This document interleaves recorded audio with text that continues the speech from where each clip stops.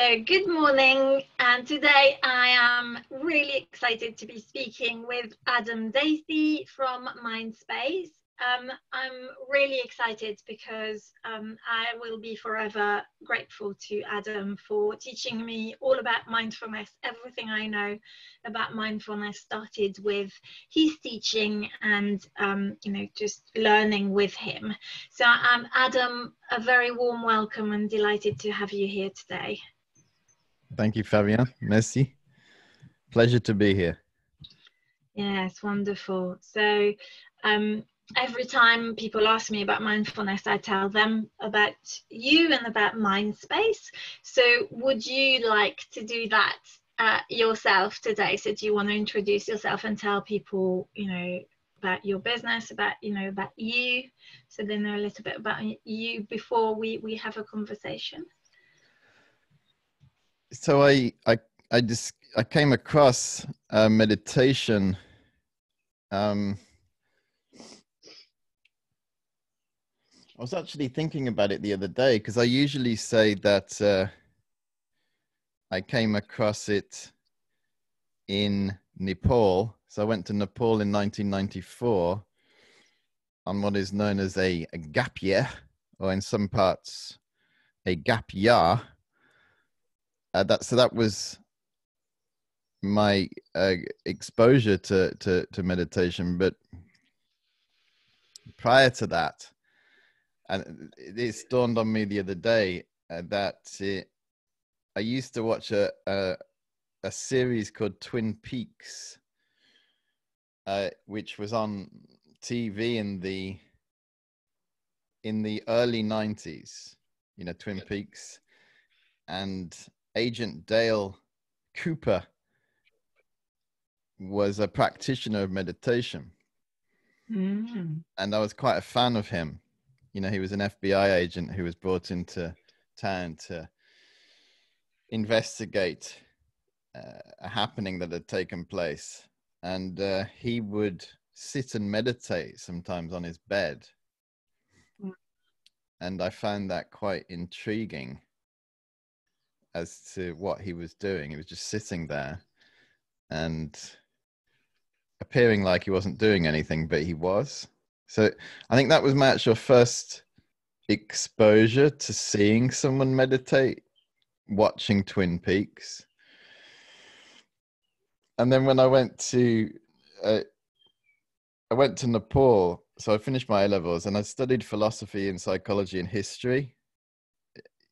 So and um, mainly uh, when you study philosophy at A level, you're, you're studying Western Greek philosophy and mm. the Greeks, like Aristotle and Plato, they they touch upon some of the themes of Buddhism that mm. Buddha introduced, like for example, happiness.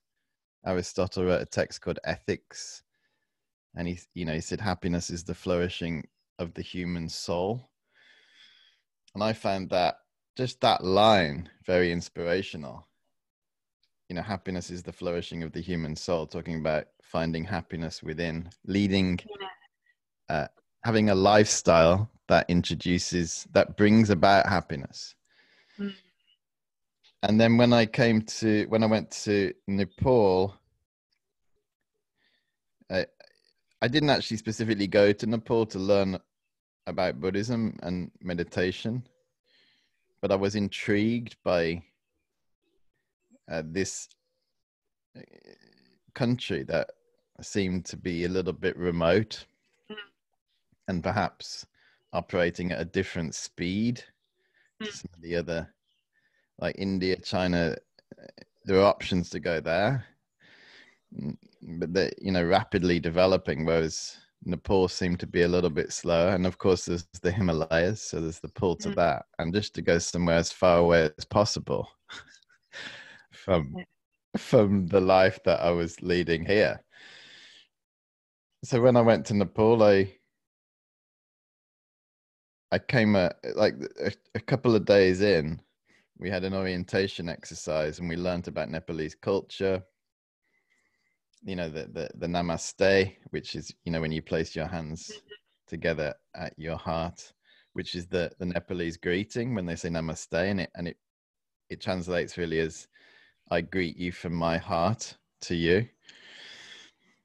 Uh, so they tend not to shake hands, which is quite common in across. I mean, in India they do, but across Asia, that when they greet each other, they tend not to. To, to yeah, yeah. Which is quite interesting when you when you start to look at. I mean, you know, obviously now we're going through COVID nineteen, and people are not touching. they're, they're, not, but when you look anyway. at the when you look at the cases, I mean, I don't want to go too much into that, but when you look at the cases in some parts of Southeast Asia, for example, in Thailand, where they they don't really physically interact when they mm. meet each other, like they don't kiss each other on the cheek, they don't hold hands, they don't embrace, they what they they call it a wai, and the same in Nepal. That the spread has been, it seems like it has been uh, restricted compared to. Hmm. Anyway, they so, and then a couple of days in, I was sitting in in Kathmandu, uh, in a place called Bodinath, which is an area in Kathmandu where uh, the Tibetans, the Tibetan refugees, uh, established themselves, and they built the many many monasteries. And there's a famous stupa uh, where there's some holy relics inside the stupa. You know, stupa is a representation of Buddha's mind. And I was sitting there in a cafe uh, with a couple of friends who I'd met there. And we were just sitting on the, they have these rooftop cafes in Kathmandu, you know, so you sit on the rooftop mm-hmm. having your chai. And then we were just sitting looking at this stupa and no one was saying anything. You know, just sitting, uh, in a sense, like just mesmerized by this calm and all these monks walking around the stupa you know dressed in maroon robes shaved heads lay people walking around some people meditating some people doing prostrations. And there was just something incredible happening. I couldn't quite put my finger on it.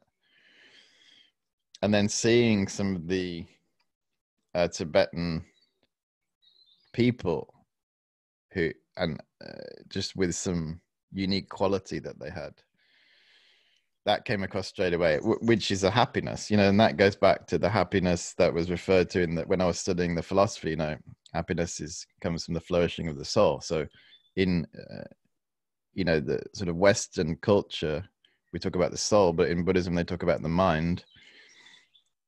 They would say happiness coming from the mind. And then in a sense witnessing that you know not just intellectually or reading a book but witnessing that happiness. And i'm thinking i want a bit of that. Yeah this thingy, how can i get that? So i immediately went and bought a maroon hat. You know because all the monks wearing these maroon hats. I thought well maybe that would get me started if i wear you know dress yes. yes. Yeah.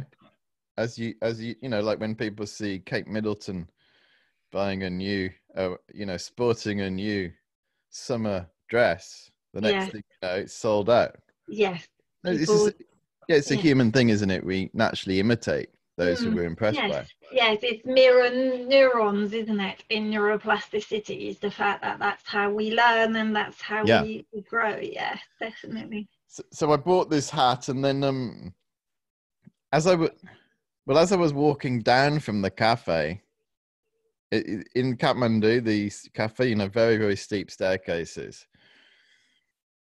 Um, and I saw a poster, and it said ten day meditation retreat.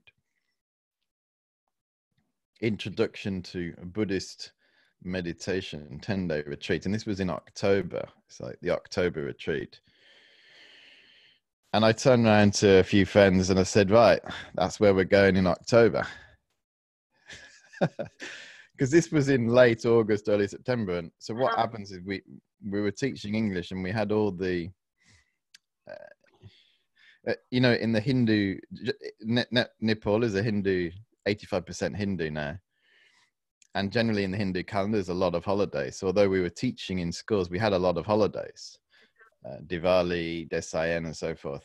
And the next, the upcoming holiday was in October. So we, already people were talking about what you're going to do. They were going, let's go whitewater rafting. Let's go to Chitwan National Park.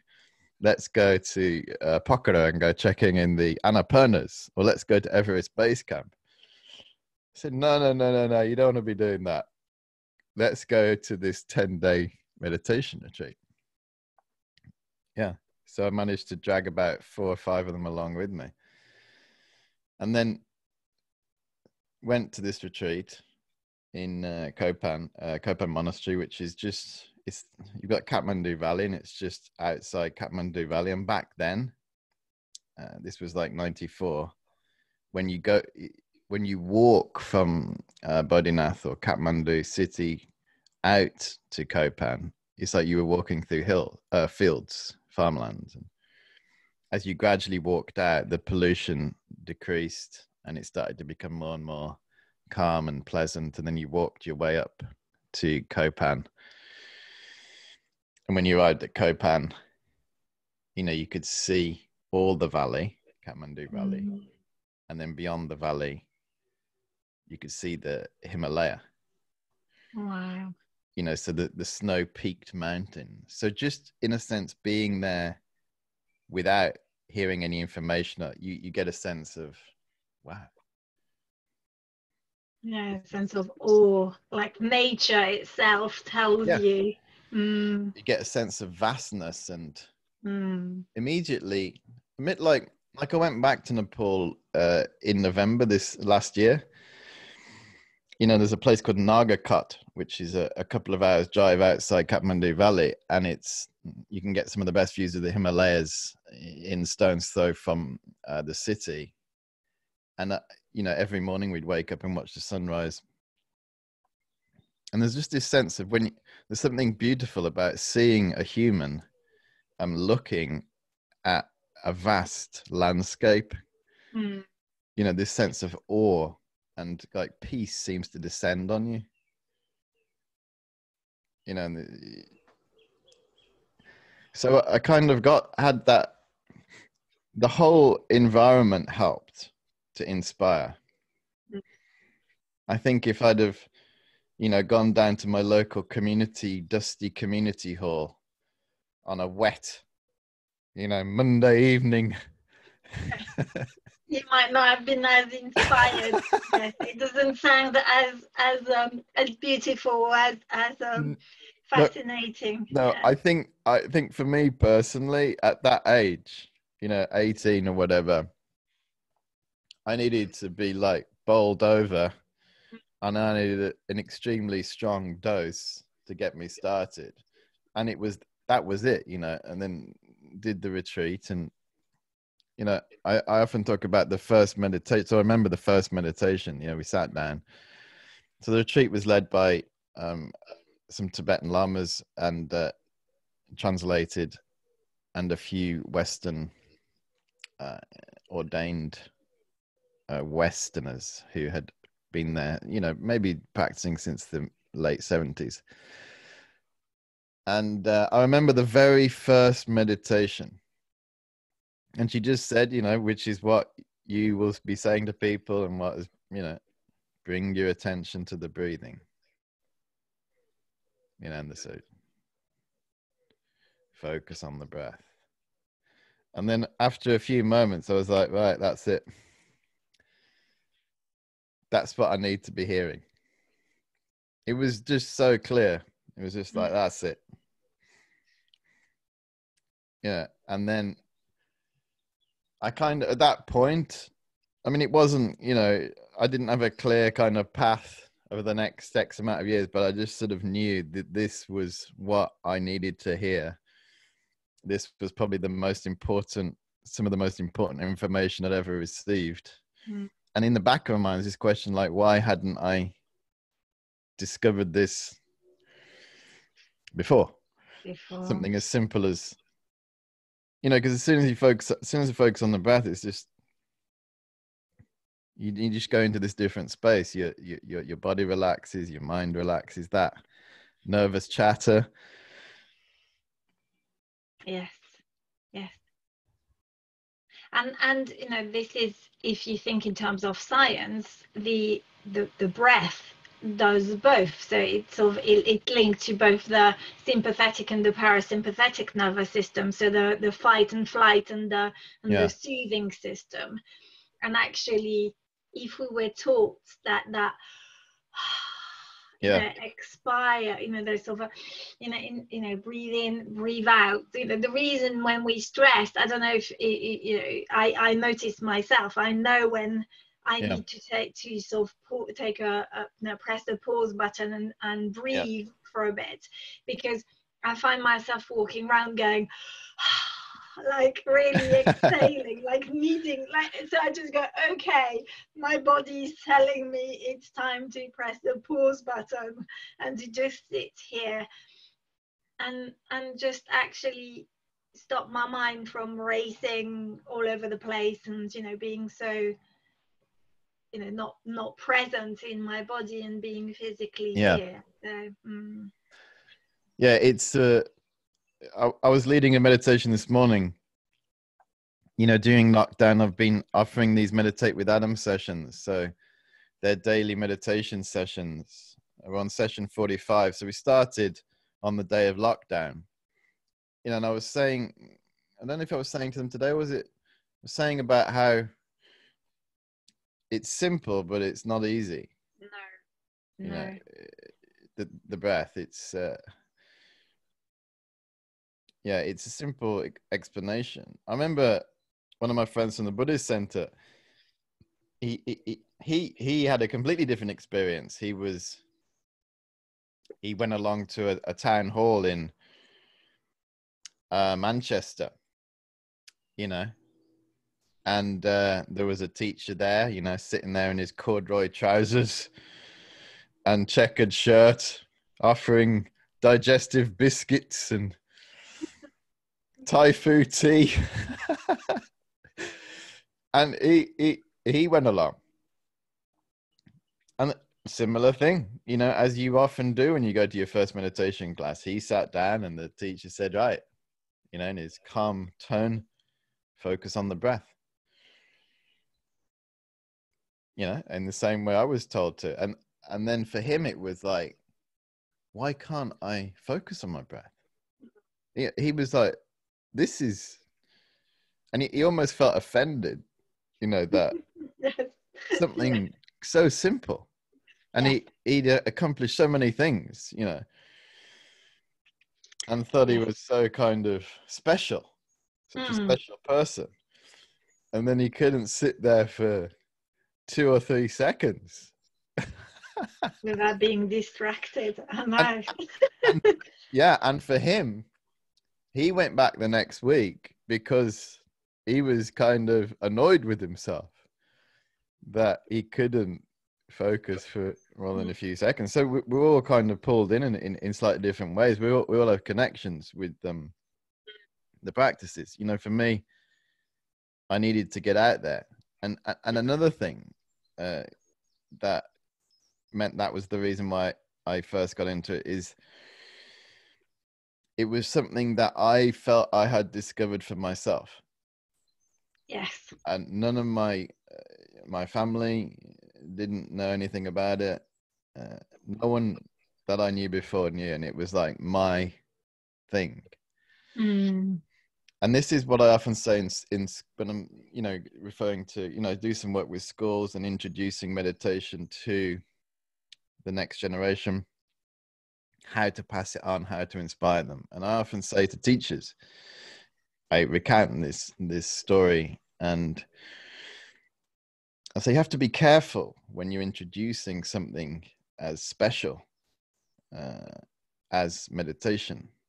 Uh, which is a life skill which can, can potentially transform an individual's life and really and, and, and rescue them you know from potential mental health issues you have to be very careful how you present it to them.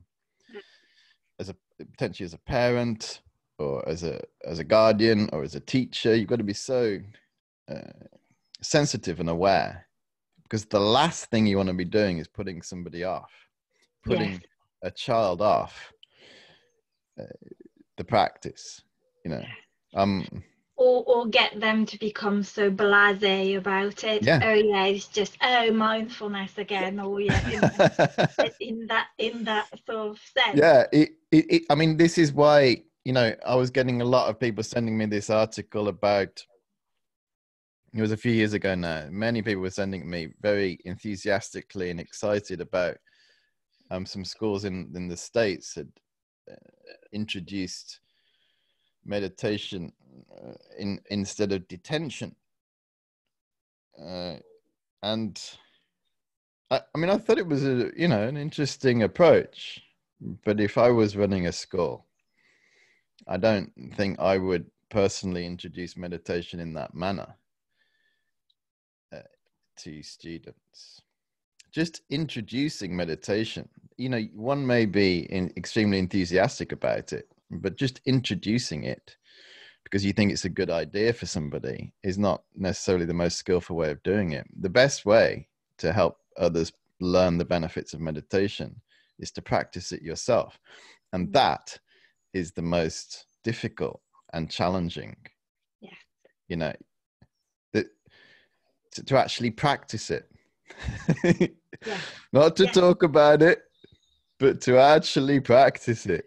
sit down and do it yes Yeah. and and i think for me that was probably the hardest so when you taught me and you taught me how to deliver the um, i remember two things to, the, the most the things that sort of struck up a chord for me when when you taught me how to teach mindfulness where the fact that you always refer to the breath as the anchor of the distracted ship of the mind Yeah. um, and that for me really resonates because I almost have I'm quite a visual person so I imagine you know like my mind being this this massive boat and it just needs my breath to Yes. anchor in the present moment Yeah. so that and then the other one was you you know the fact that i it, my practice was the bedrock that it had to be the, the solid foundation of anything that i was teaching.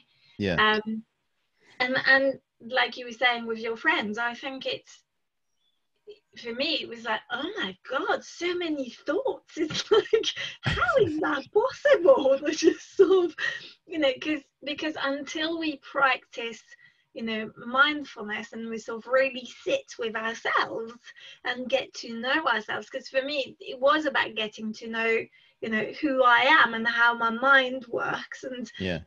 the the way it wanders off and and you know i have to bring it back to the breath Mm. um you know it, it has been about discovering you know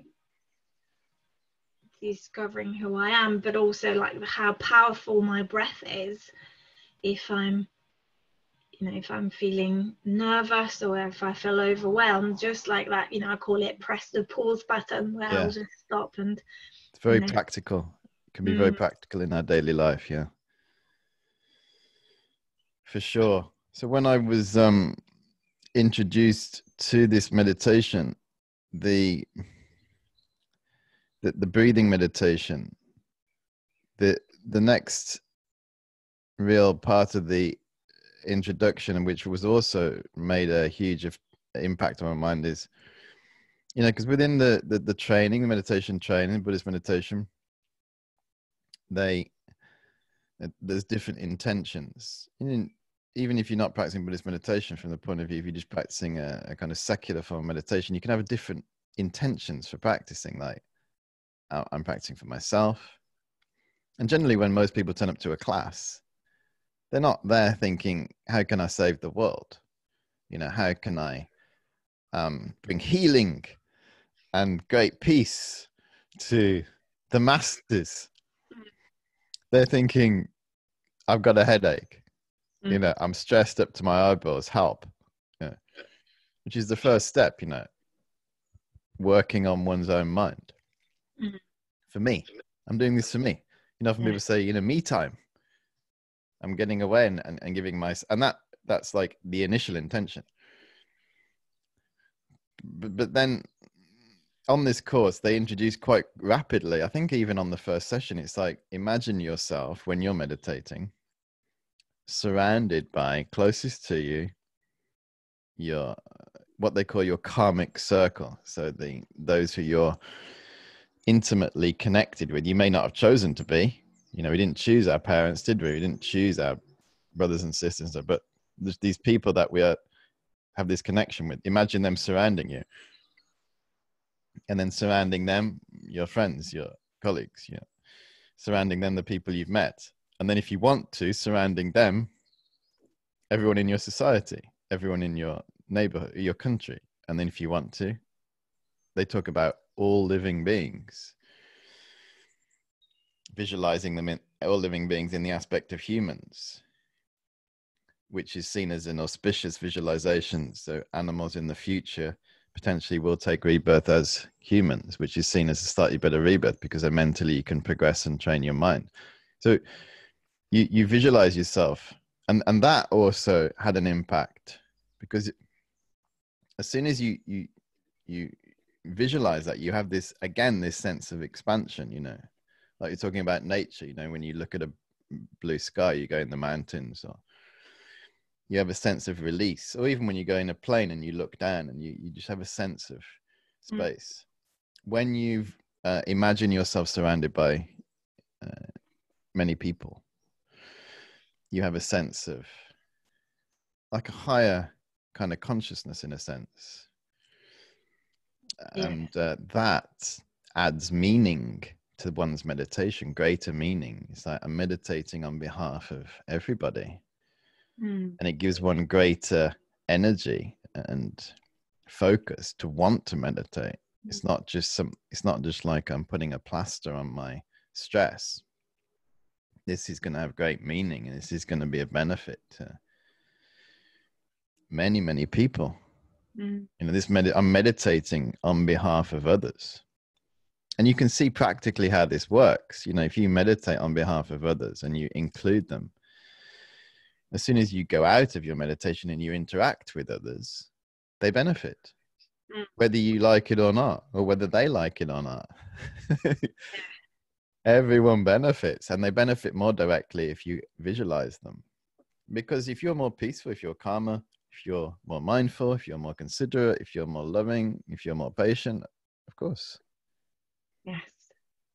Everybody benefits. Mm. So th- those two things, it's like the breath and that sense of mental expansion because when you you know when you meditate with that intention it's like you're closing your eyes you're gathering inwards but you're feeling and imagining these people are there you see what i mean so it's a little bit like your intention is outward mm. but you're looking inward. Is this seems almost contradictory. Yeah. It's for me for me what works is imagining. So attention is on the breath yeah. but intention is benefit not just myself yes. but others. And so it's like mm, because it's the definition of mindfulness i mean you know obviously it's focused focused attention on you know yeah. on the breath or um but also with an intention, with a purpose. Why am I doing this? And I'm doing this to benefit, of course, myself, like you said, but also benefit all of those close to me. And then, you know, my friends, my family, my colleagues, and then, yep. you know, the rest of the world. So, yeah, I like that, that sort of attention inwards. So, yes. my breath or whatever is the focus of my meditation, but intention outward. Yeah, it's well said. Yeah intention and attention the the one thing you have to be one has to be mindful of is um which can happen you know if you do a lot of these meditations and you you sometimes come across this in you know potentially in communities where there's a lot of this you know we talk about all living beings i'm meditating on behalf of all living beings it's like a very lofty intention, yeah. isn't it? Yes. And then, but I'm not meditating on behalf of my, you know, roommate or my mm. neighbor. or this Yeah. person who's annoying the hell out of me. Never mind Yeah. them. Yes. But all living beings out there. So it's trying to bring it down to earth and think these people that I'm, and this is, these are representatives. So whoever it is, these people that I'm interacting with, they are my, the representatives of all living beings. So Mm. we work with these people. And the way that we treat these is then actually the indication of, of how we actually feel about all living beings. If we're wanting all living beings to be happy, but yet we don't want the people closest to us Yes. or we find Yeah. ourselves actually becoming happy when people are unhappy you know perhaps those who we are competing against or who we find slightly annoying then we need to observe that you know Mm, which is the Mm. non-judgmental we need to be mindful of yes. uh projections and then come back home and then go again. Mm, and Mm. they're the teachers you know they're the our real teachers are those closest to us. Yes. and the way that we relate to them. The reason why i'm talking about teachers because on this retreat uh, this first retreat you know i read a book. One of the the first books i read is called the tibetan book of the living and dying it, it, it seems to be one of those books that often people read as their first. Someone gave it to me actually. It was a, a German guy in a dormitory on a road called Freak Street, Wow.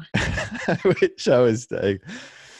Yeah, there is actually a road in Kathmandu called Freak Street.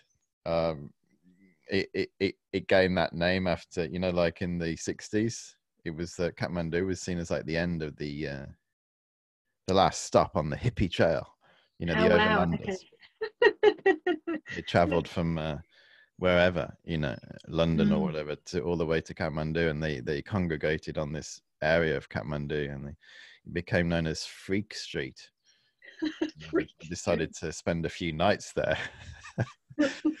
Back then, actually, there was, there was a few guys who who had s- were sort of the um, had never gone home. You know, Oh, wow.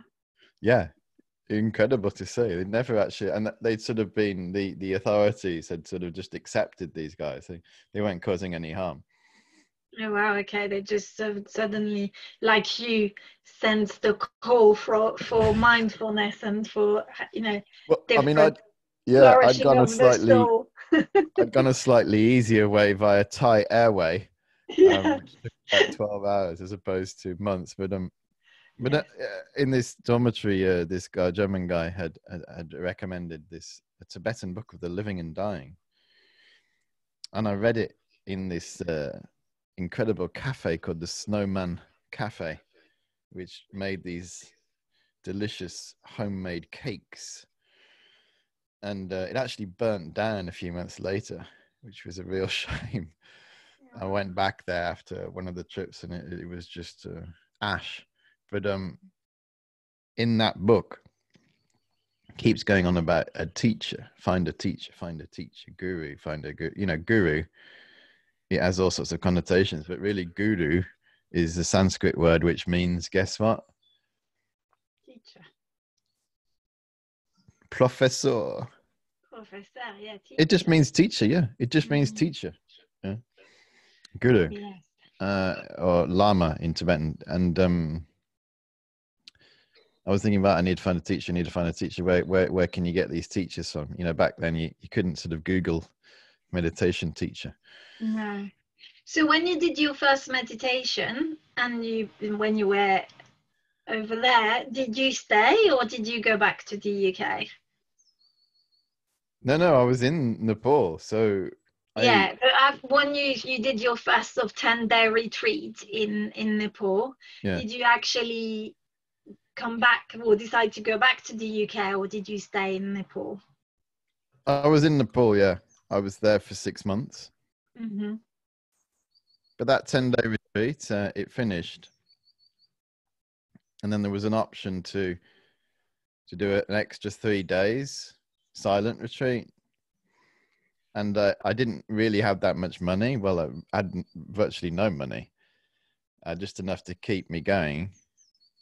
And uh, so I resigned to the fact that I was I wasn't able to do this retreat because you had to pay a little bit, mm, but not the money that I had. And I went down to the money exchange,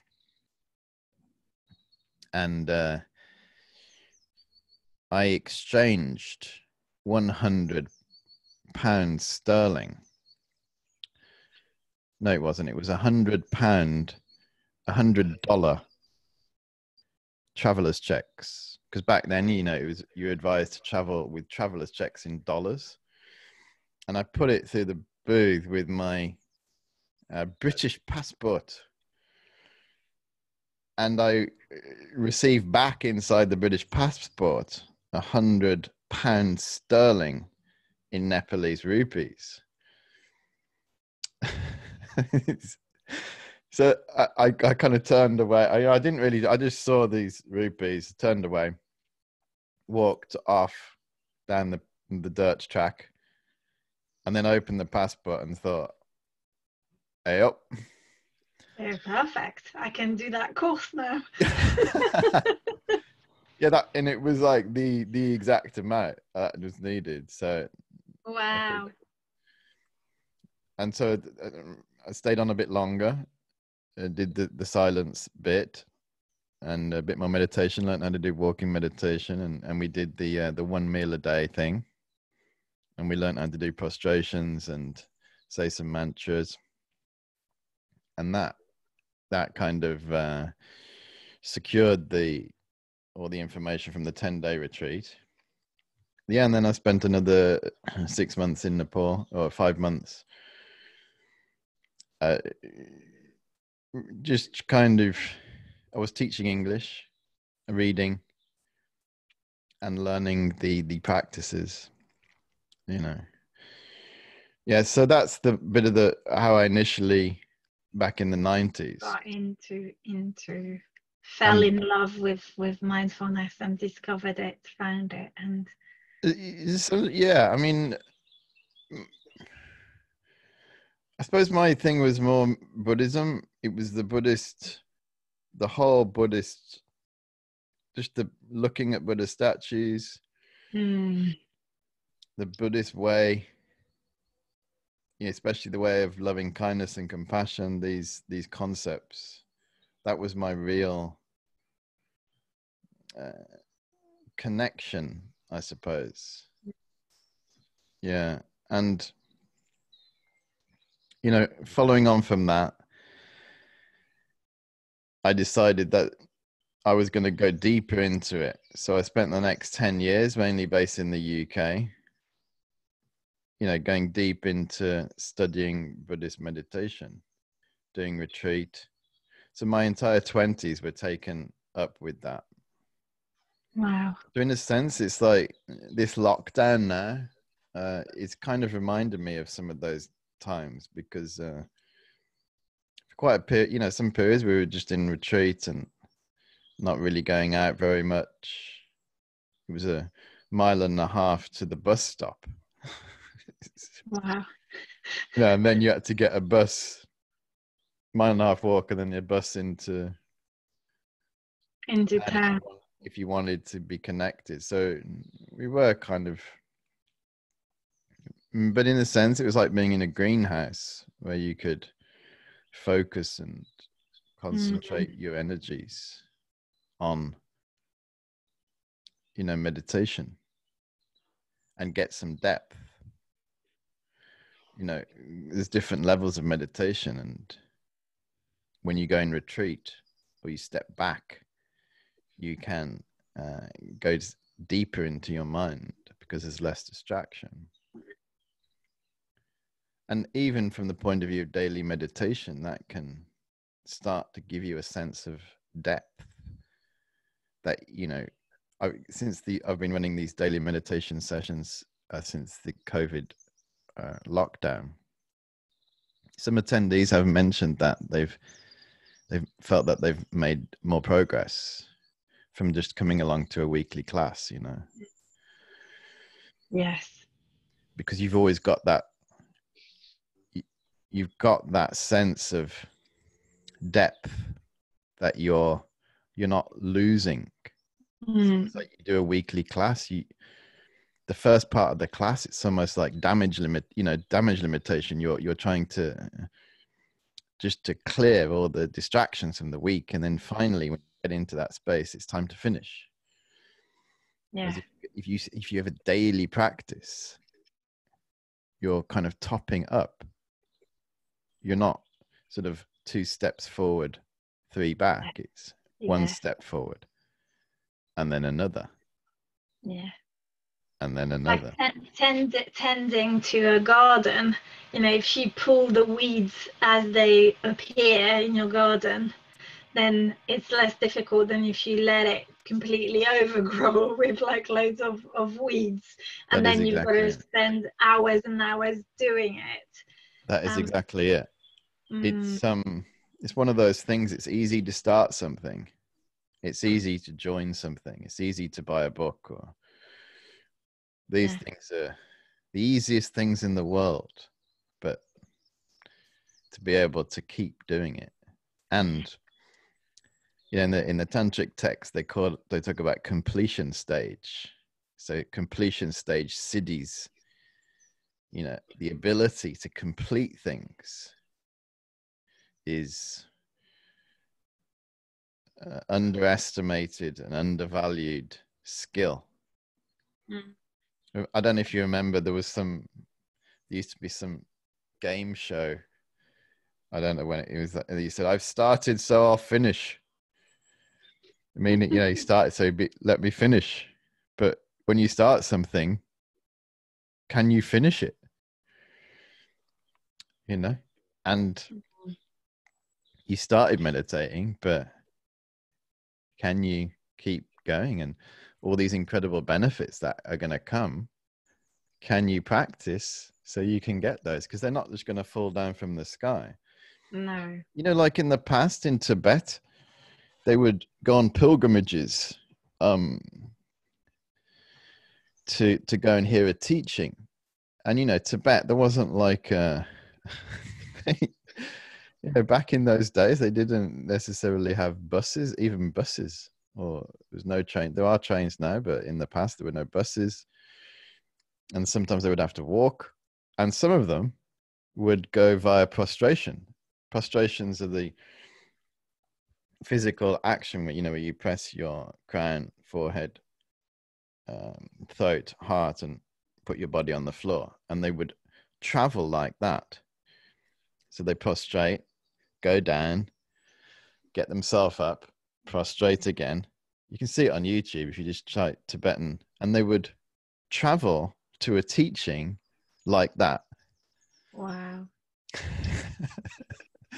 so let's say, for example, they they want to go to receive a teaching about uh, a lojong. So lojong, Tibetan word for training the mind. It's, it's crucial importance how we can learn to train the mind. So great teachers, Geshe Langri Tangpa, some of these great Geshes, they they gave these teaching on how we can train the mind, and people would travel for potentially a month like that to get to a teaching.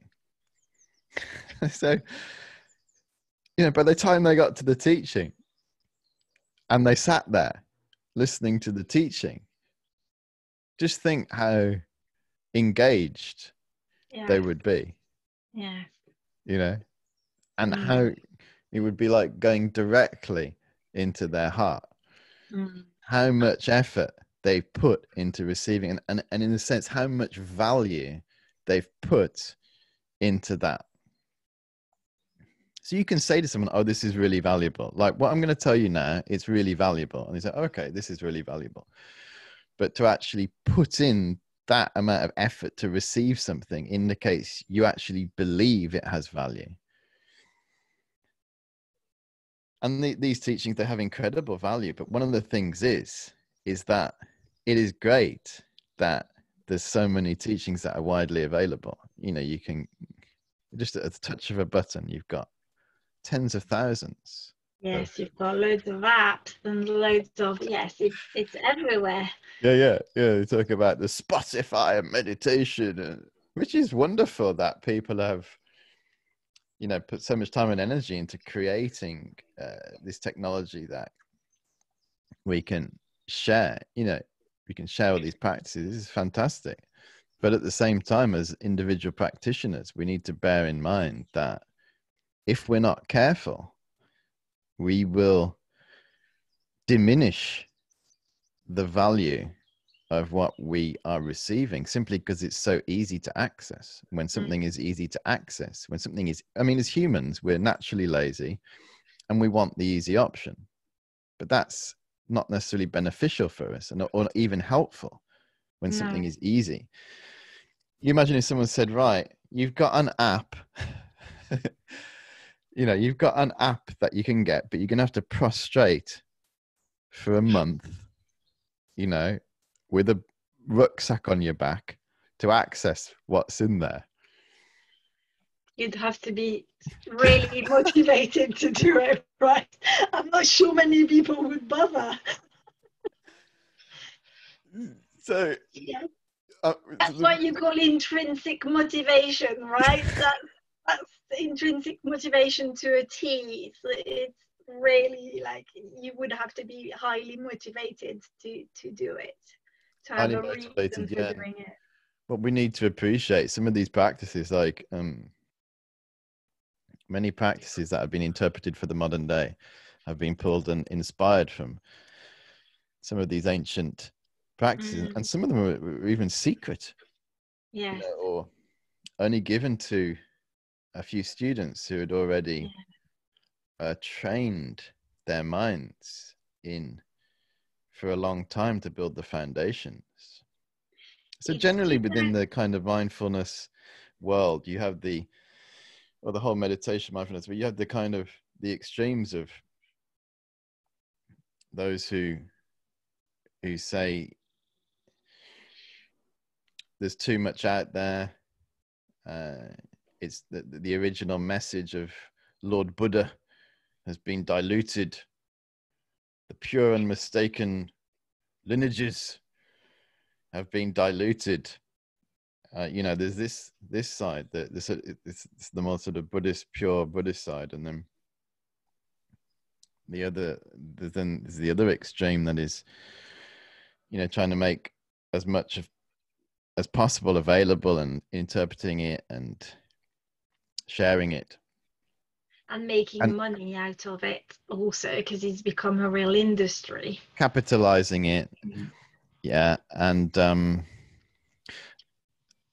and going down the pure scientific route you know it's the mindfulness from the the, the, the sort of the, the laboratory type mindfulness. Well john kabat-zinn's work and you know putting people in scanners like uh, exactly. yeah. professor Kabat-Zinn. Yeah. yeah. And then, so, but you know, he himself came from a, he has some, you know, practicing within the Zen traditions and the Buddhist yeah. traditions. Yeah. But it, it, it's interesting the, the, the polarities, you know, and um, from a Buddhist perspective, you know, from what when Buddha taught, you know, Buddha Buddhism is often interpreted as the middle way. You know, Uma, the middle way, finding the middle way. And there's the famous analogy of when, before Buddha became Buddha, you know, Buddha means awakened when he, he was training like we are. And he was going from extreme to extreme. He was a prince living in a palace, opulent palace, everything he desired, which is similar to us. We may not live in palaces, but we have an abundance, don't we? Mm-hmm. And then he renounced all that, not just mentally, but physically. He had enough, went and left.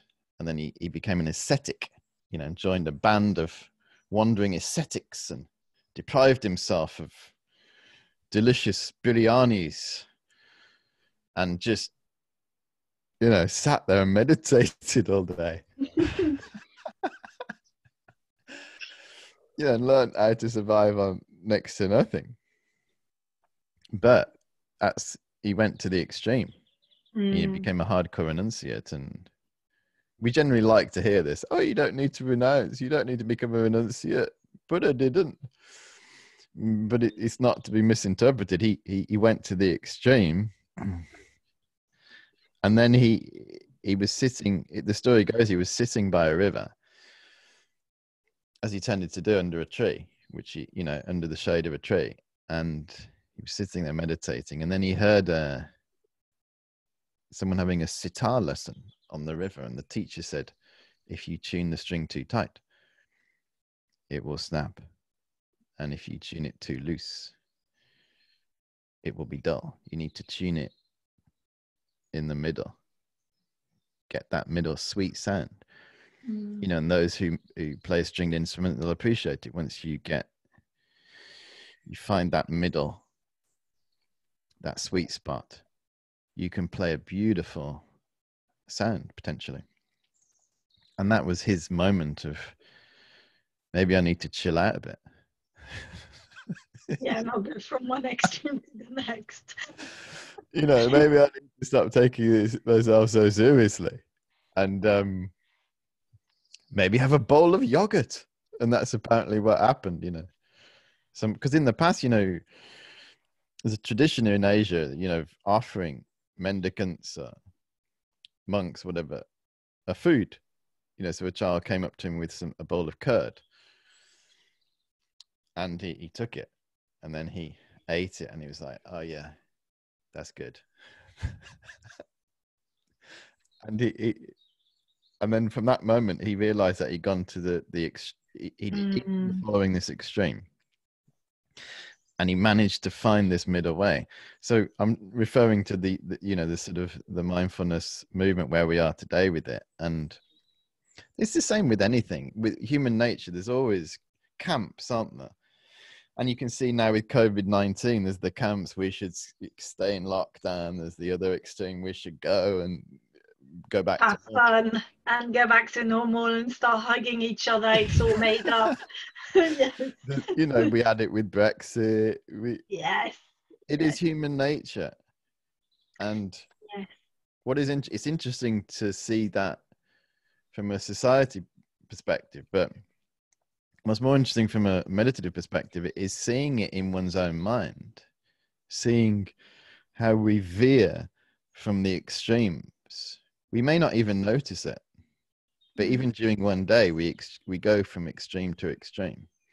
You can see it in yeah. relationships. One minute we love someone or love someone, the next minute we're wanting to kill them. you know, yeah. we can't bear the sight of them. Yeah. Now that is extreme but what we tend to misunderstand is that it's actually coming from our mind. It's not the person. It's not this person who's making us feel like this. It's what's known as the extreme of attachment and then the extreme of anger, you know. Or, you know, they talk about the extreme of existence and the extreme of non existence, holding on very tightly, getting really, really serious about everything, you know, and then. Oh, There you go because you can't hold on tight too you know, much. I've had enough. Yes. You know, I don't care anymore. I'm giving up. I've tried my hardest with them. All this, this kind of, and this is what we do. You know, mm. or we set something. You can see it from a business perspective. Set something up, get really enthusiastic, you know, and and get really excited because excitement is a form of grasping. You know, go, go, go, go, go. But you can't sustain that energy. No. And then when there's a difficulty or a problem, we get disheartened and then potentially go to the other extreme and give it all up. Yeah. Even from the point of view of a marriage, you know, mm-hmm. you see the extreme in a marriage. We see someone, we can't wait to spend the rest of our life with them, you know, going to deep, deep attachment but we can't sustain that energy eventually no no no because because you know so that's one thing in in the english language that has always been an issue for me you know in talking about marriage my other half when people say that to me, I just go, no, sorry, Jason is not my other half. I'm actually a full person. I don't, yeah. I don't need him to complete me. is, it, is there a is there a phrase in French that you use? No, we wouldn't say. Well, I guess yeah, you could say ma moitié, but that that's yeah. I guess, I guess you could say, you know, my my other half, my ma moitié in French, mm. but um, but that is very symptomatic of what you're describing the very you know you, i need you because you complete me and you make me whole and then i hate your guts and we get divorced and we have a yeah. you know so this uh, this conversation with a friend was just sort of saying it, it's amazing how you can love someone so so much you know so believe you love them and then hate them as equally sort of the same mm. the same and this is what you're describing, right? Yeah, that is that police song, isn't there? I think it's the police. If you love someone, set them free.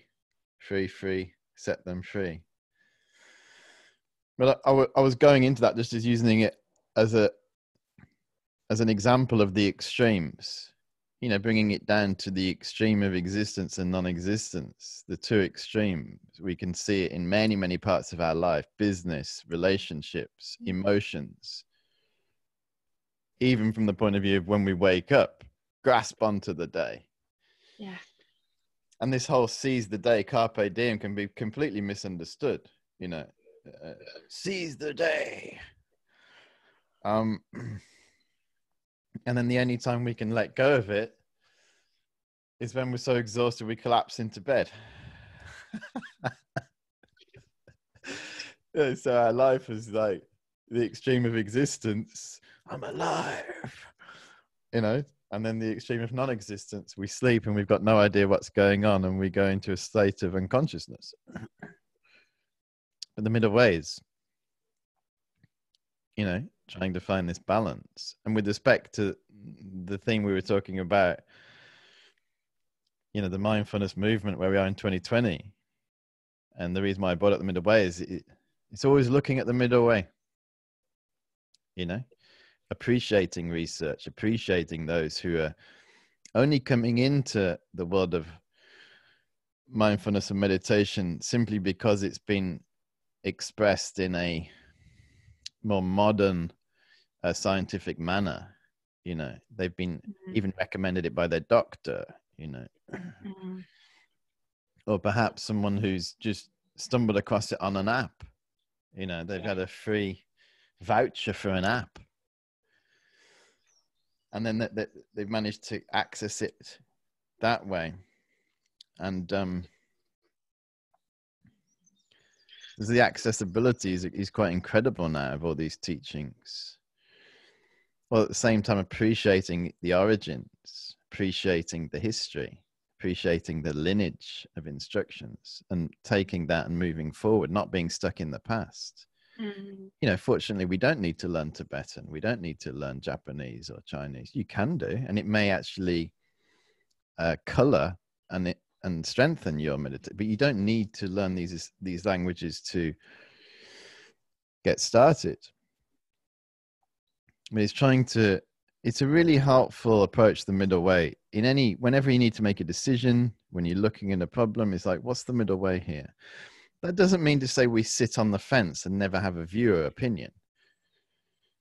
It just means to say that we we appreciate the extremes. Yeah.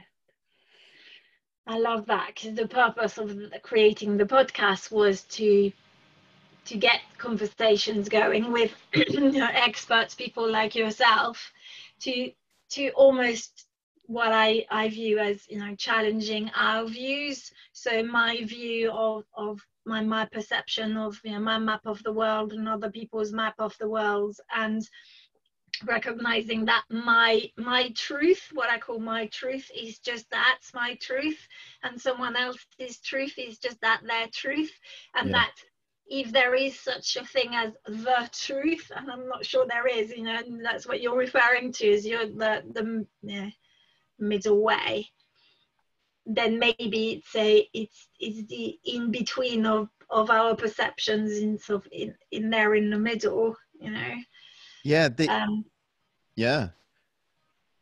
The the middle way is um I mean there's different they talk about different truths, you know, conventional truths and ultimate truths and you know, the middle way is ultimately referring to an appreciation of the way that things exist and uh, the reality, who we really are. Yeah, and, and, and, and tapping into the, the real nature of ourself and the world around us and appreciating, you know, one of Buddha's most famous quotes and most helpful quotes is that we are abiding in a dream. We take a, you know, we take ourselves extremely seriously. Um, and as a consequence, we suffer mm, immensely mm, And in some respects, the more seriously we take ourselves, the more we suffer. And Buddha said, you know, if you can, when you're not meditating, try to abide in a dream, try to feel that your world is dreamlike. And this helps you to let go of what's they refer to as the grasping mm. mentally, like a mind that is doing this. And you can feel you can see it in your hand. yeah, sometimes, oh, why is my hand like that? You can see like you, you, you get so angry with someone you want to punch them in the face. Yeah. Why? Where's that coming from? Why is the hand going like that? Because we're mentally going like that. But maybe we've restrained ourselves so our hand's not doing that. But our body's sometimes doing it. And the mindful body scan is helping us to appreciate that. Oh, wow, there's a lot of tension there. Yeah. And the whole non judgmental thing is that's okay. I'm not a bad person. I'm not, uh, you know, it, it, it, it comes and goes. I'm going to observe it, notice it, let it go. But the grasping, it's there. And that takes us to the extremes. Yeah. And Buddha said, try to abide in a dream, try to let go of that grasping. Because, like, for example, this conversation now, it feels real. But where's it going to go in, in a, when it's finished? Yes. Think of 2019. That felt real. Mm. Where is it now? This is a memory, a thought, you know, something that we have in our, you know, that we believe we have still in our head, you know. It, it, things, yeah, exactly. Things feel so real.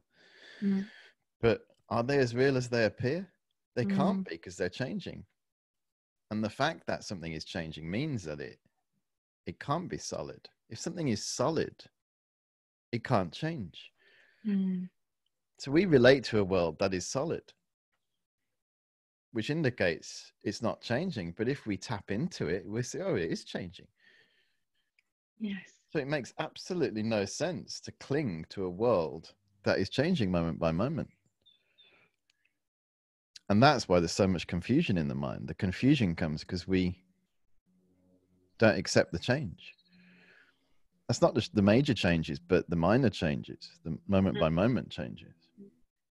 And in a way, if you think about that, we are not the same person that we were, the same people that we were before this conversation, because this conversation will have, you know, changed part of of our truth and part of, you know. Yeah. So yes, I I love that, and this is what I loved about your teaching. This is what really drew me to to your teaching in particular, is because I think, um, you know you you really bring that th- those aspects of you know the, the, the buddhism and, and and a lot of that you know ancient so you know buddhism 2500 years ago is that right Yep And counting, yeah. yes so you know really really like this notion of walking walking on the shoulders of giants and Yeah. this is why i always acknowledge your teaching because i just feel that what you taught me is this you know a tiny tiny insight into what you learned when you went to nepal and you know from from the, that buddhist tradition in a very respectful way but in a way that fits in with our western world but but that feels very respectful and that really really love in your teaching. Good to hear fabian merci yeah. beaucoup no that's true. I really I, that's what really drew me to your teaching. And i you know i really recommend our um, listeners to to go and have a look at what you do. You know your website i'll put the links to your website and and all of yeah your... merci fabienne. Everyone is welcome you know. Mm. and we are uh, we are pioneers you know it's uh, early days mm. and yeah these are gold this is like the golden age for us here in reluctant to call it the west but you know here in the the the societies that are not buddhist we're christian uh, mm. you know our roots religious roots in uh, many in the uk europe and uh, christian element. And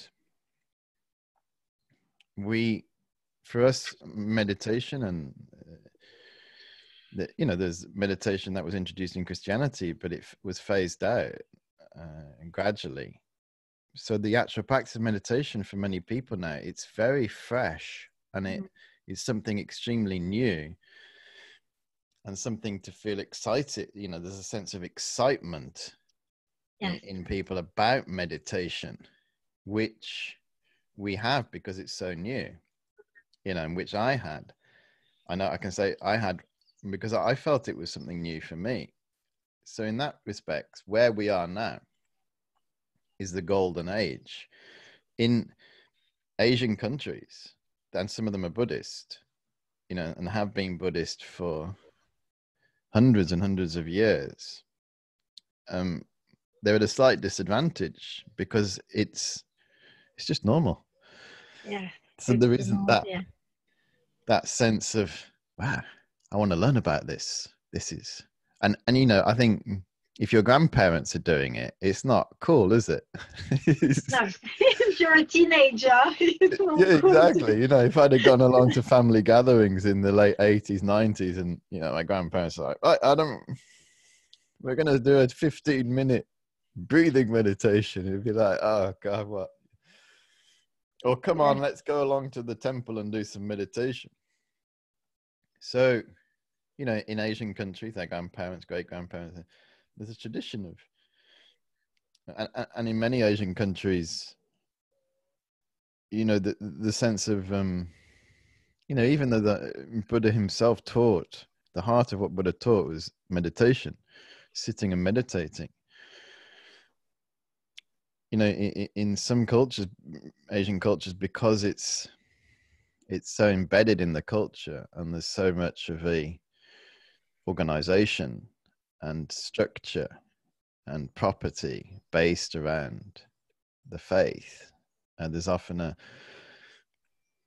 a lack of uh, or not so much energy and enthusiasm for meditation in the temples. So in the temples you may find and people attend the temples uh, for uh, making prayer or making offerings, paying their respects, which is wonderful, you know, to have that sense of calm. But the amount of meditation that takes place, and some of these temples, they're actually very busy, you know, especially in the cities. So people will just pop in and, depending on where it is, make a little prayer or and then go out. And uh, so, for some people, there was, you know, for a child or a teenager who's trying to have it work out what is going on, Buddhism or it will not necessarily be associated with meditation. Mm. It'll be associated with going to get some good luck or praying that you get good test results, you know, or praying whatever it is, you know, which is external, which isn't necessarily negative, but it's yeah. it takes yeah. away the enthusiasm and the energy and the focus on the meditation. So in the West or the you know the the societies where it's new, we definitely need to seize the moments that we have now. Mm. See ourselves in a golden age and just, and, and and if you, you you choose to pass it on it's like pioneering it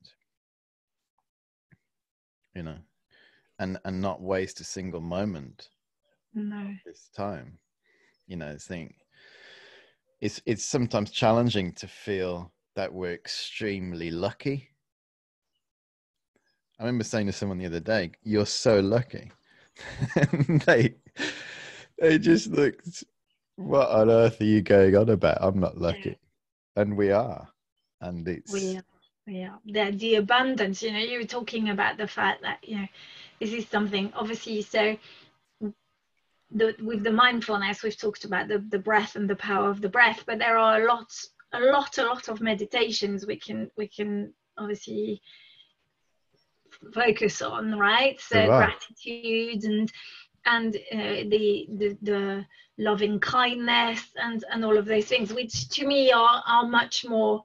Um, I would describe them as being more advanced. So I couldn't really do that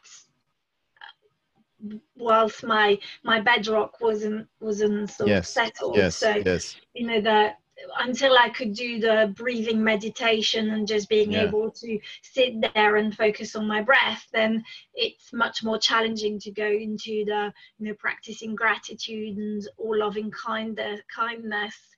Um, but those are really vital. So you were saying like you know carpe diem, seize the moment.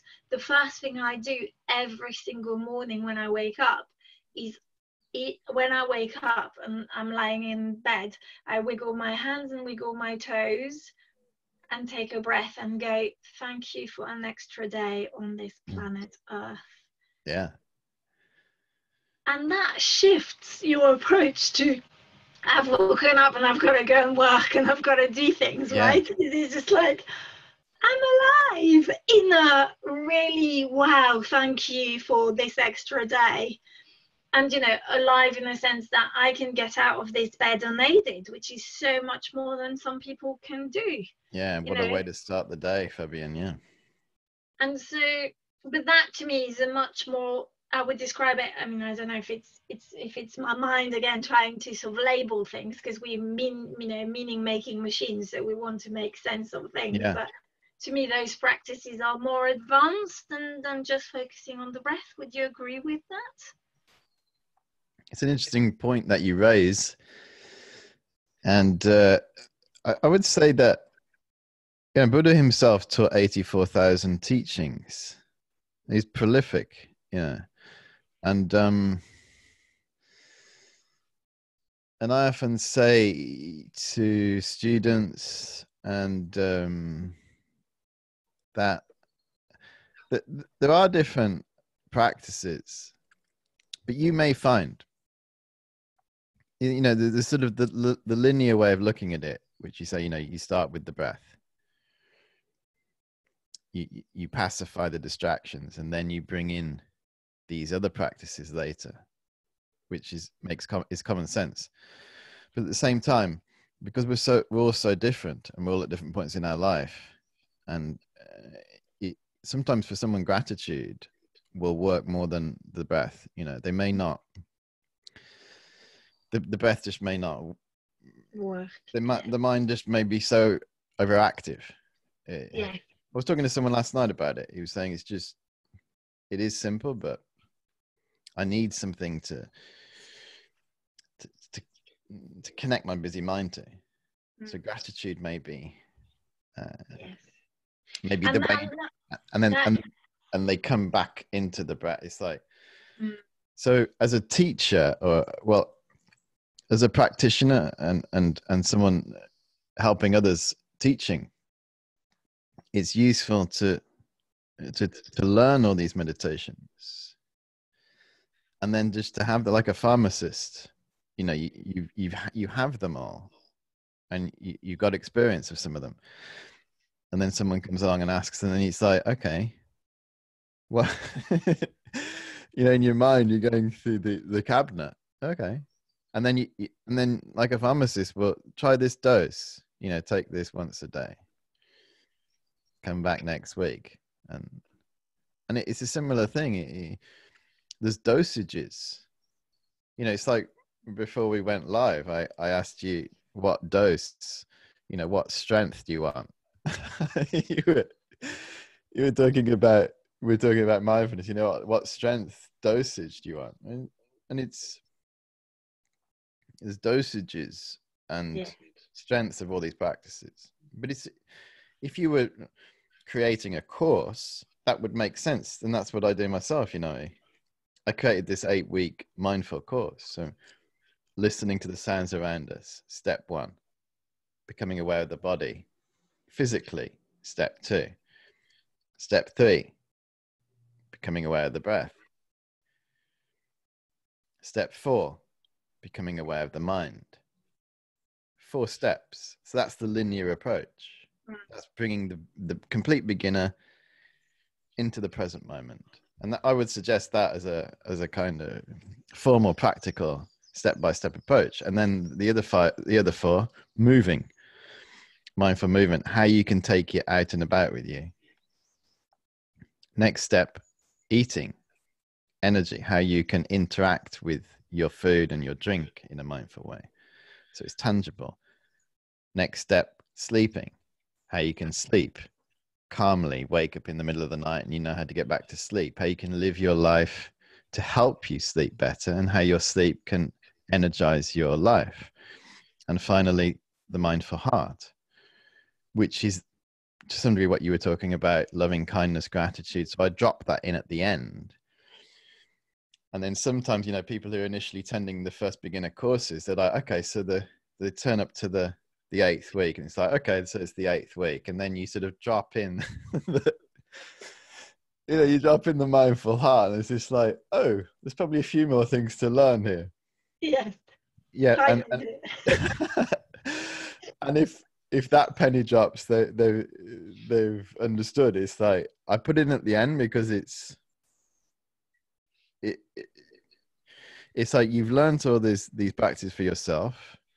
That is wonderful. Take you know, as they say, take care of yourself first. You know, the old oxygen mask on the plane. Yeah. Yeah. Yeah. Yeah. yeah. You gotta you gotta get your head above water first. Seven weeks of doing that. Eighth week, now look at how you can relate to others with mm-hmm. compassion. Even wish for someone else to be happy wish for even someone that you don't know to be happy and then go even further even wish for someone you don't like to be happy. Oh, that's the hardest. And as you rightly said you know if we're not focusing on the breath and not pacifying our mind and not happy in ourselves why are we going to want other people to be happy? Yeah. and why yeah. would we ever entertain wanting someone that we don't like to be happy? Yeah. Totally. So um, skillfully practicing for oneself, but if you're introducing it to others, there definitely needs to be some element of skill because, and this is what we're talking about with respect to introducing it to children, uh, because you don't want to be putting someone off, or, you know, when people come along to receive help from you, you want to, you want to, you want them to be calm and peaceful. You want them. I remember one of my friends, you know, appears saying, "You know, you've done a good job at a class. If people walk in." Uh, you know, with their troubles and worries, a little bit of a frown on their face, and they go out and they've got a smile on their face. Yeah. You know, so we wanted to be, you want to be able to help people to elevate them. And if one presents the practices unskillfully or maybe a little bit too strong, and that may come across because one is enthusiastic or whatever it is, or we, we, we don't have that empathy, uh, then it, it, it, can even do more harm than good. Mm. And yeah. you know that I'm not going there again, or I'm not. I'm giving up on meditation now. If that's what it's all about, yeah. go down the pub next week. Have a few jars of. Yeah, of yes, have have um have alcohol instead, or you know whatever it is we use to numb the pain we all have our drug of choice, right? well, I'm on the old Earl Grey at the moment. Earl Grey coffee, um, sugar, mine. That's definitely mine. Um, oh, are you an Earl Grey fan yourself? Yeah, I like Earl Grey. I I think for me, what um, but also coffee, also you know sugar is a big big um, soothing uh, technique in my life. But I, you know, I think this is one of the things that I'm really grateful to you for is that you know having learnt the practice first for myself before starting to teach it for others is that I've learned to recognize, you know, to to to be more self-aware, to have more self-awareness, um, yeah. which which is such a such a gift. If anything else, you know, even if you don't want to teach it, just having that self-awareness and noticing what's going on for what do you, you mean by, individual. What do you mean by self-aware? So I think it's noticing what's going on for me in the present moment. So if someone is saying something and that's generating or triggering emotions in me, um, so noticing that in fact my emotions are my mind telling me where where I'm at. So I look at my emotions are as as my internal compass in a way, like a internal sat nav that tells me where my mind is at. Um, but you have to be present in what's going on in your body you know so it's that again is that attention intention yeah. you know sort of like noticing the it's inward looking but not in a navel gazing way not in a you know aren't i great and look at me and am i not wonderful but actually really noticing what's going on yeah. for me as i'm interacting with with the world with other people and you know. Yes. Interesting. and yeah and i think that's that's what i feel i have gained the most out of of learning and practicing. That's good to hear. And one one of the uh, inspirational uh, themes that can arise as we continue practicing and it may be helpful to raise here you know due to the uh, what is happening in our world at the moment and is that is is questioning and being self-aware as you mentioned of our relationship with suffering. Mm. you know, yes and i think we need to have another podcast because that's a whole new conversation. Suffering death fear you know all of those emotions because i think they've been completely amplified with covid-19 and yes. but just briefly like Shantideva who was a great uh, indian uh, master buddhist master who uh, his famous text guide to the bodhisattva's way of life he said you know suffering uh, moreover, suffering has good qualities. And um, Buddha, the, the very first words that Buddha taught. So, what's important to appreciate? You know, mindfulness, whether you like it or not, originated within the Buddhist tradition. You know, it, this is where it came from. And it's one part of what Buddha taught. Buddha taught many, many different things. But it, the very first thing he said was this was what he said when he came, the, the words that came out of his mouth uh, when he first taught, you know, five students in the deer park in Sarnath. He said, You should know suffering.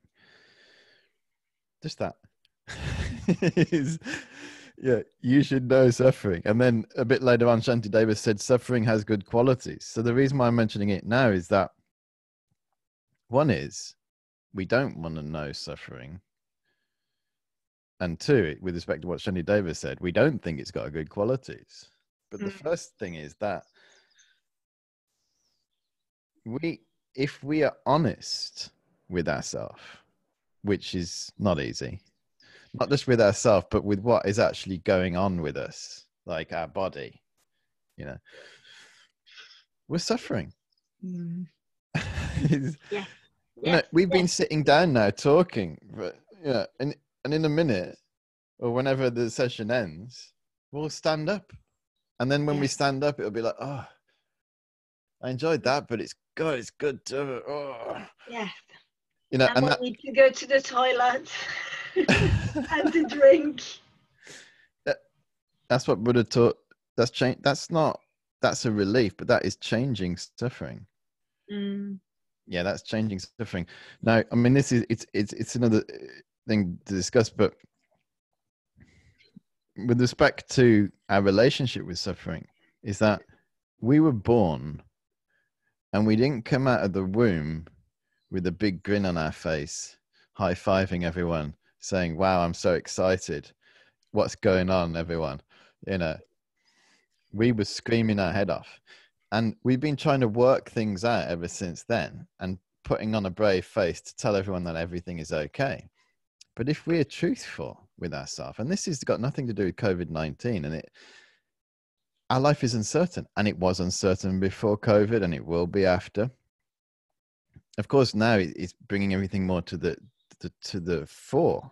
You know, the uncertainty and can you know and and and uh, aid uh, sickness that comes about as a human being and death because we're being told every day how many people have died which you know it's awful that people are, are dying and people are getting sick it's terrible and but what's important to appreciate is that this is what happens and this is what happened before covid-19 you know I'm not in any way diminishing what is happening, the the severity of what's happening, but it this is this is what happens as human beings, and it's just being highlighted now because yeah. we're hearing about it. Yeah. And, but when the lockdown is over, we will still be suffering. Yeah.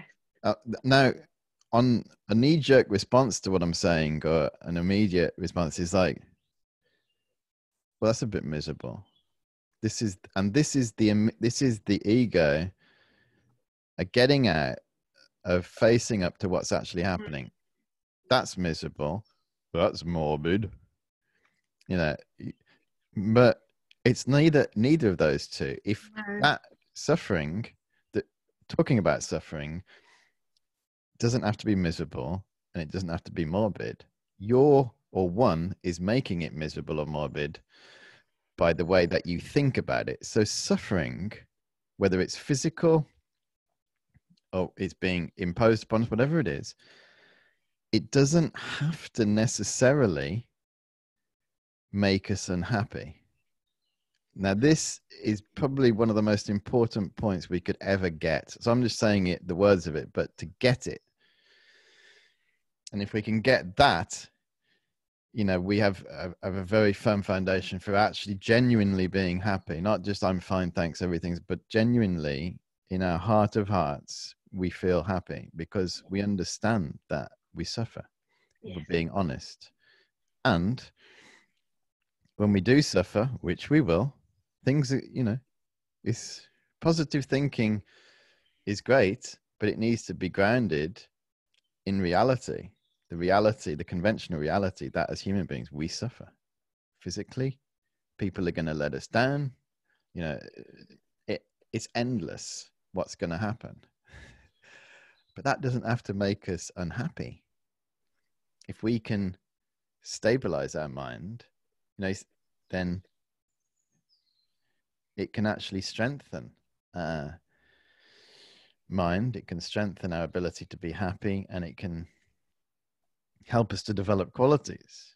You know, Shantideva goes on to say, you know, because suffering has good qualities, when we experience problems and difficulties, our pride is reduced. That's one of the good things that can come. Our sense of self importance, you know, which we have as humans, it's reduced. And when our pride is reduced, we become more peaceful you know you can see that immediately like we get offended by what people think say think and say to us. If we have less pride. More peace of mind. Yeah. Compassion arises for other people. It's like if you've ever had a sickness sometimes you can get a sickness you never really were aware of people with that sickness before you had it. You get the sickness it's like you know, you go on some forum or something, you think, oh yeah, there's hundreds of thousands of people, millions of people with it, and then suddenly your heart goes out to them, and you feel a sense of connection. Whereas before that, completely oblivious. Mm. and most importantly, a sense of one of the main reasons why we find it difficult to sit down and be mindful, to meditate, to get into a daily practice because our mind is so distracted. And people will be seeing this now in COVID nineteen, like those who who uh, who say like I'm too busy to practice meditation uh, before COVID nineteen, and then their lives become quieter, and they're still too busy to practice meditation. you yeah. that, that's because your mind is distracted. It's nothing to do with yeah. what's going on in the world around you you know, people say when they retire they're busier than they've ever been. So it's it's a mental thing, but it's you know, it's coming back to if we appreciate that our life is challenging and we're going to experience suffering, we will put the energy and time into our spiritual life and prioritize that above our worldly life. We'll let go of worldly concerns. So, suffering which we're experiencing can really be you know going along with your inner compost you know the manure of the growth of spiritual realizations mental realizations. In fact it's but it's being able to get our head around all of that. It's a deep theme, you know, it's suffering, but not associating suffering with suffering, as in with being unhappy. Yeah. And the, this, this, you know, links to the beginning of your conversation around the Greek philosophers and the Stoics, because the Stoics talk about the, you know, that eudaimonia is that how you pronounce it like uh, the the that actually the the flourishing is understanding that as part of being human there is suffering. And it's it's about understanding that you can't control that suffering. You can't make it go away. It will happen. It's the ebb and flow of life right? The yes. just up and down. And that actually the growth and the the expansion happens when we are at the you know when we we are uh, it's from being under the wave before we surf and under the water that we can really fully enjoy surfing the wave. There we go. Yeah. It's letting go of um worldly concerns. Mm. it's like you can say i don't care what people think about me. You know i don't care what what they say what they do but we do. Mm. Yeah. You know? And um it's we, we can put our head in the sand and uh, just say I don't care, or we can work out how to not care and not be bothered. You know, remember, I don't know what that comedy was. It was it Dawn French. I'm, I'm not bothered. Not bothered. not bothered. Not bothered. French and Saunders was it? I can't remember. Yes. Yes we are bothered, and the way to become unbothered, like to not care, but to really care, you know, to care about the important things, which is helping other people, and to not care about our reputation, our worldly concerns, is to meditate on death. You know, is to think to ourselves, you know, oh, God has gone a bit morbid again. He hasn't. In fact, it's the most uh, elating, inspirational subject there is. Mm. And uh, is to think, I may die. I may die today. Does it does it matter that someone has uh, ignored me or criticized me or forgot my birthday? You know, do these things really matter? We say, oh no, no, they don't. Of course they don't, but they do. But if we think, if we genuine, and this is a this is a tough nut to crack. I may die today. Yeah. That's the reality. Mm. Things are, we prioritize everything that is important. That's the way to let go. Yeah. That's the way to, that's the, um, you know, when I was at the, in the temple back in Kathmandu, on that on that retreat that I managed to wangle my way on with my what was it? Sterling traveler's check. Mistaken sterling traveler's check. I remember we were meditating. There's this meditation that you do on death. So looking back on it they did introduce it quite early. So you, in the tibetan tradition you do this meditation on death where you um you you imagine that you're dying you know and and, and there are various stages and uh, appearances to mind of the dissolution of the gross mind. And I remember doing it, and I was sitting there, you know, and it, they just had the candles on, and it was a little bit edgy, you know, to be meditating because the first time I'm meditating on death and and doing the actual meditation where you're dying, you know, you imagine that you die. And then I I heard this kind of rustling, and I looked, my eyes open. There was this black dog. it's, it's like the the temple dog was just sitting in front of me.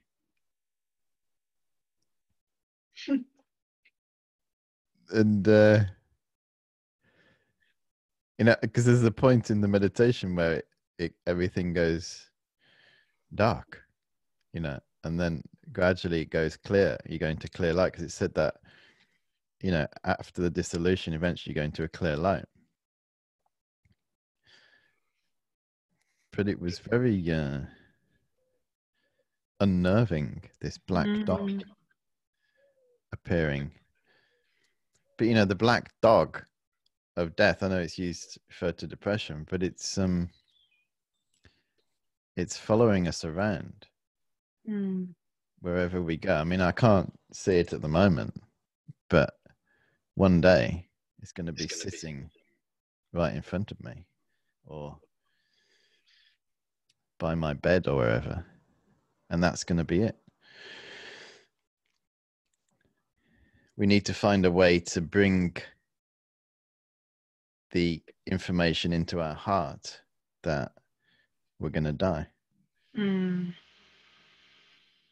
you know it's, uh, it's so we can we can appreciate a lot more you know that with that the the heart opens up because then you know you will want obviously under covid-19 if you're not living with people you can't do that. But if you know that you're going to die then you would want to say goodbye to people and give them a you know one last time. Um, but again you know not grasping just acknowledging that and yes. i think for me that just brings that notion of you know when i've practiced that that meditation what it's made me think is if this is going to be my last interaction with you what do i want this last interaction to be about and for you to to feel about me or to remember me by. Um, and therefore, that makes your heart just naturally open up because you want it to be a positive, you know, a, a loving interaction and, a, you know, with a lot of kindness and understanding. Definitely. I think what you say is true. And they, it's said, isn't there? And I've, I've seen it myself that when, if you're with someone who's dying, uh, they they often tell people that they love them. Mm. Uh, one of my students, unfortunately, uh, you know, passed away, died, and um, at quite a young age, and is is in the three or four days leading up to it. He knew he was going to die. You know, he was in a hospice. He told everyone that he loved them. You know, there was a what you're talking about, you know, mm. Which you're trying to introduce in your relationships. He had that. It was happening. It was like he never he never told people that he loved them. Mm. Yeah. And for him, it was the opening of the heart. You know, this doesn't mean that we suddenly start telling everyone that we love them. No. it might do. No. It just, no. But that's an illustration that he Yes. That is one of the effects of it. There's an, and what it is, it's the ego. it's the ego which we protect which we nourish which we hold on to you know the ego often maybe doesn't want to tell people that we love them it doesn't want to open up and see the world beyond the ego meditation on death it's like knocking on that yeah cracking that shell Mm. like i don't you know at christmas time we always used to have these nuts you know in our Yeah, family tough you know nuts. say again Tough nuts. yeah you know with the Yes, yes, yes. the nut yes. openers and you'd have Yeah, the yeah. hazelnut the brazil Mm, what was it the almond yeah.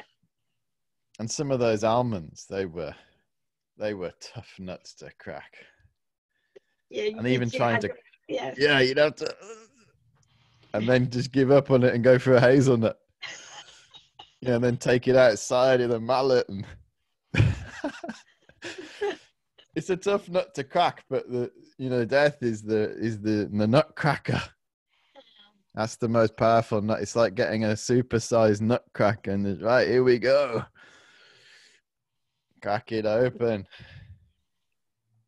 Yeah. no yeah. but going back to the dosages it's like you have to know where you're at and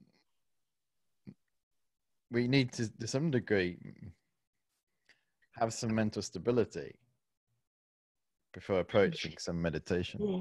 Well, and that's the thing that the one thing that I'm thinking of is that someone who, uh, you know, is a beginner would not want to start with that because it's sort of, you know, if you've got mental health issues, then you don't really want to be considering death because it's opening doors that, you know, might lead to to you know suicide ideation and things like this. So i think that's really important also isn't it? Is that notion that you going back to what you were saying is that mindfulness as also in places when people have used them used some of the practices generated you know issues for, for people. So you know if your mind is completely uh, sort of like that you've, you've probably seen the, the programs or the, the the articles on the dark side of mindfulness. Oh, um, yeah. and I think it's because it's being used, you know, n- I, I don't like the word right way, but it's a, it's about you know if you if you want to run a marathon and you've ne- if you've been a couch potato, then you don't just go straight for for a 15 mile run, Oh right? yeah yeah yeah it's um Sorry, it's like the you know the analogy of to you know, from couch potato to a marathon. no no no it's, it's a good one no it's a, it's a good analogy it's Mm. um i think it it's being able to respect the the depth and Mm. the vastness Mm. and to appreciate that realize the different strength remedies as a teacher to be fearless also because sometimes a strong remedy uh, strong medicine can be of great benefit to somebody Yeah. Yeah. and that fearlessness will come if one has taken it for oneself and also the empathy i suppose that's needed to know if that person is ready to hear this Mm. information and in what and it's often the delivery how you talk about it Mm. I, I yeah it's the, the because you know the reduction of the ego and the letting go of it leads to freedom um, but you can get lost in the semantics of it and if you've been trained and brought up on you know the modern psychology and self-help books uh, many of those texts and books potentially will give you if you're hearing information like letting go of the ego and meditations on death as a as a remedy for uh, potential mental health issues uh, you may buckle and uh, feel that it's inappropriate. Mm, so there's a lot of gray area and, and potentially a lot of confusion Mm. within this whole field. and the reason why is because the mind, don't forget, it's formless. You know, you can't you can't suddenly say, so this is what the mind looks like. Now Fabienne is going to do a share screen and show you what the human mind looks like. yeah. It so yeah, it's um Yes. And I think it fits to what you were saying earlier on about, you know, like sometimes the breath does not work for some people. I think that's the other thing, you know, the, that notion that mindfulness has it's been sort of researched and sort of become really at the forefront. So it became like the new CBT, like the go-to yeah. practice.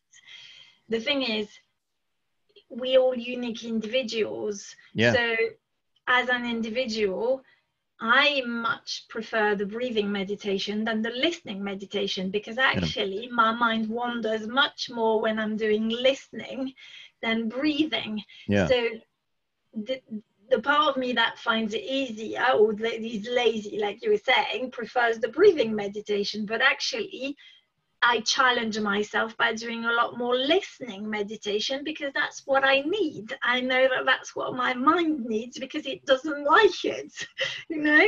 Okay. Um, but it's um, and I think that's the thing. It's like for, for me, mindfulness is not a, you know, it's the one size. It's not a one size fits all. It's not a you know, eh, take this pill and you'll be cured, and this pill and you'll be cured. It it's a like you were saying, find out what works for you as an individual to help you develop that, you know, self-awareness yeah. and you know, exactly attention, intention. Exactly. I, I suppose the challenge is is when your your mind is so crowded with conceptual thoughts, and you don't feel that you you can, in a sense, find out because you haven't mm. you know where you are personally with it you have the expansion the objectivity and the experience to be able to see things in perspective i suppose if one is full of uh, worries and fears which is happening now and then after covid-19 there'll be the in a sense the post-traumatic stress of having gone through this because we are uh, adapting, but at the same time, we're experiencing the stress underneath, but we're just living from day to day. So when this is all died down, there will be that. And then there's the, all those thoughts, all those fears, all those worries. And then going along to a class or an app or talking to a counselor or, it's it's very easy to to uh, not be able to process what's being said in the most practical way for you, or to misinterpret it, or to be slightly waylaid, you know. So that's why it's really important that there's people who have some experience to try and help people be mm. able to translate because it's a language mm. to translate mm. it into their own lives and you know the internet it's a wash isn't it and it's like when i'm wanting to learn about something new you know you go on the internet and you just think well where to start yes yes you know and this could be something just like what was i doing the other day how to bake an oat cake i mean i'm a big fan of oat cakes you know it's my morning breakfast and i thought well you know during lockdown I'll learn how to do it. okay. Yeah. Why not? And you know, my my mother's side of the family is Scottish, and um, my great granny has a cookbook, a family cookbook, somewhere in my sister's attic. There's this, yeah, incredible cookbook with a oatcake recipe in. Yeah, and um, so turn to the the great gunny recipe and then give that a go and then but there was a delay with the transmission of the recipe due to my sister yeah being caught up in the life of a professional working mother as you well know and um, so then you go onto the internet and then suddenly there's like 10,000 different ways of doing it mm. and this is just an oat cake. and then where to source where to source the ingredients from and it's a so you know for someone who's wanting to learn meditation which is uh, much more subtle than baking an oatcake although i have discovered the subtleties of oatcake baking. There's there's depth in any topic right? Adam?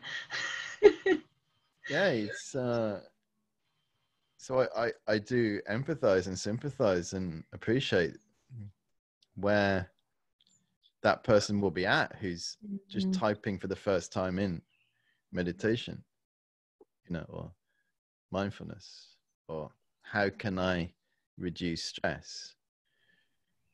Next thing you know on a website and and then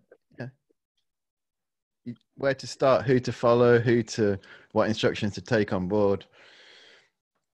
This is why eh, you know they they talk about the oral transmission. You know this is in tibetan that the most powerful is the oral transmission and they they often talk about a, even a whispered lineage you know whispered in from one ear to the other and you can see how the oral transmission from you know mother to parent uh, to child or neighbor to neighbor or from one school friend to the next. And this is really where the power is how we can help people you know. Mm.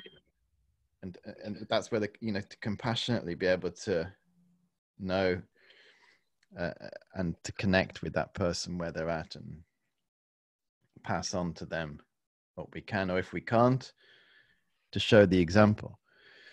Mm.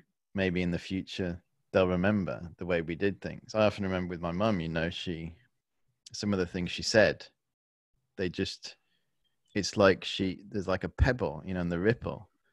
And it's like a ripple just comes. I don't know if you have it yourself but a ripple just comes at some point. It's like oh that's what she meant. That's what she meant yes yeah but it, it didn't necessarily go straight in when she said it no Hmm. Fabulous. So, on that note, I think we can maybe we'll we'll tell people where they can find you because I think you're an amazing teacher. Um, and you know, obviously, we'll we'll put on the description in the podcast. I'll put your the links to your website and to to your Okay. Facebook and um, if you send me all of the details like you know if you're on twitter and things then i'll put all of those and people can can Okay. reach out and find you that way yeah awesome yeah and then maybe maybe we can do another podcast at another point on on more suffering and and know more on the suffering part for if people are interested because I think that's such a yeah the, a deep transfor- the transformation of yeah. suffering is would be a wonderful subject to talk about and yeah fantastic to share yeah no wonderful let's do that if you're if that's okay with you yeah Wonderful. Well, thank you so much, um, Adam, for you your time. I really, I've, I've enjoyed, as always, I've enjoyed talking to you, and I could really, really talk forever. Um, but yeah, thank you so much. yeah we've had a fair few uh one-to-one conversations and this is the first one that's gone public That's that's gonna be recorded. So yeah, exciting. yeah so hopefully it'll be well received and yes, and, and and all the best with your flourishing student thank you. work And yes, thank you so much, and thank you for everything you've taught me. well thank you for the invitation and uh, making the time to create this great Mm, work Thank, thank you, Adam.